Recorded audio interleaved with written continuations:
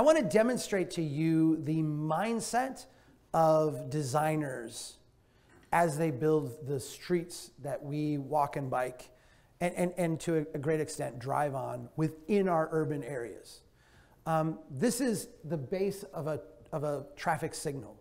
So if you are going to cross this street, the designer of this has built in feature that you will, as a human being outside of a vehicle, walk up to this pedestal and press a button, and then stand there on the edge of the roadway and wait your turn to cross while traffic goes through this intersection, right? I've just explained to you how every city intersection works, right? I want you to look very closely at the base of this pole. And I want you to look, I'm going to take a side shot of it right here. I want you to, to look at it right there, and you can see there's this weird configuration where the pole is actually not connected to the pedestal. There's a gap in there. And if you look in there, there's some screws. What is going on with this? Those screws are called shear pins. And the reason that they're there is because this pole is designed to shear off if a vehicle comes and hits it. If a vehicle comes flying off the roadway and hits that pole, the pole is designed not to be a stable stop thing that they'll run into and have a traumatic injury. The pole is designed to give way and to essentially gently collapse and absorb that kinetic energy to spare the driver the trauma of the abrupt stop. The reason that is put in is because enough drivers were going off the road in these kind of areas, striking these poles and dying or having traumatic brain injuries. And so the engineers, the designers have gone in and designed systems that break away.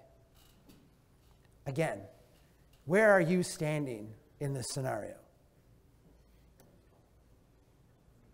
Where are you positioned?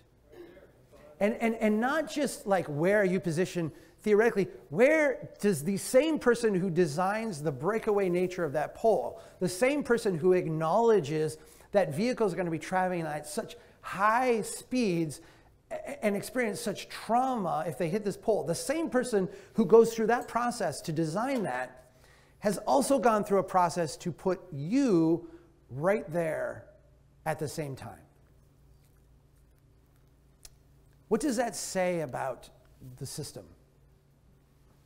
Right?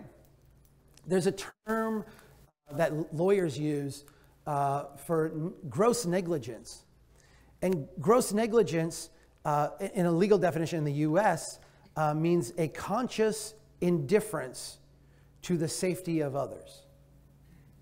Uh, we have acknowledged, and we're very sensitive to as designers, the trauma that the driver will suffer by hitting the pole.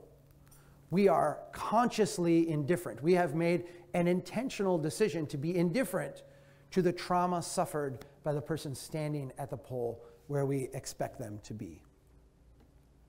This is backward. And it's a complete uh, reversal of what we know and what I think the great insights of the transportation profession are.